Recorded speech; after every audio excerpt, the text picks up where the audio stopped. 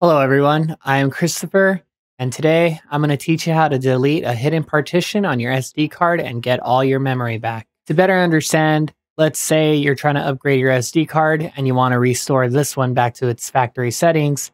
You format it, and then you notice that the space available does not match the size of the SD card that you have.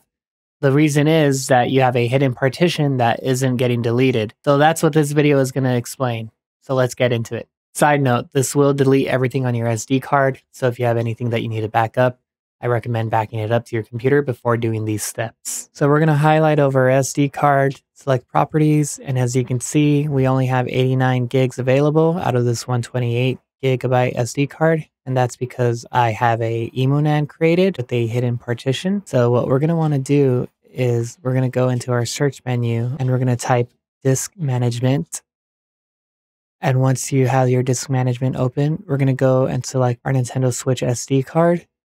And as you can see, I have a 29 gig hidden partition created for the EmuNAND.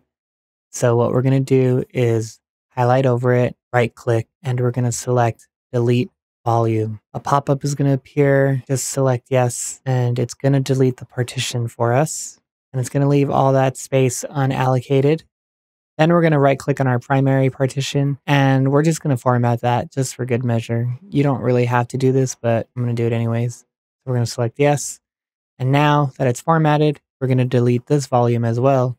And you're just going to want to select yes. And now we have all this space unallocated. So we're going to create a new simple volume and then it's going to open up the simple volume wizard. And you're just going to want to select next, next, and you can assign it a drive letter if you'd like to change it and we're going to select next. And depending on what format you use for your mods, whether it be exFAT or FAT32, you're going to select it there. And you can label it anything you'd like if you're going to use it again for your Switch or if you're just going to use it for something else. Then we're going to select next and we're finished. And that's how you get rid of a hidden partition on your SD card. Now we have the full space on our SD card back. It's no longer 89 gigs, but we have the full 119. And that's all there is to it.